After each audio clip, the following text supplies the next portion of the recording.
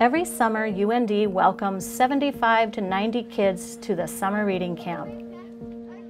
UND students and faculty spend two weeks helping local school children enhance their reading and writing ability.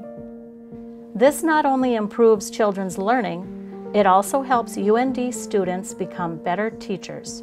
I'd have to say for me the most valuable learning experience so far has been just how to create relationships, you know, with your students. You want them to feel that when they come here that we're here for them and that this is somewhere fun for them to learn and that we want the best for them ultimately.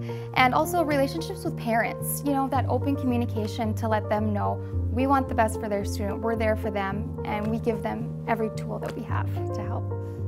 We work with children in first through eighth grade, and with this focus, the reading camp teachers can influence a very important period in reading development. What we've found is that students who participate in the reading camp increase their literacy skills and they have fun doing it. I like that we get to read and we get to write. We get to write to our teacher and stuff. I love summer reading camp because you can have fun with your friends and you get to like write cool stories.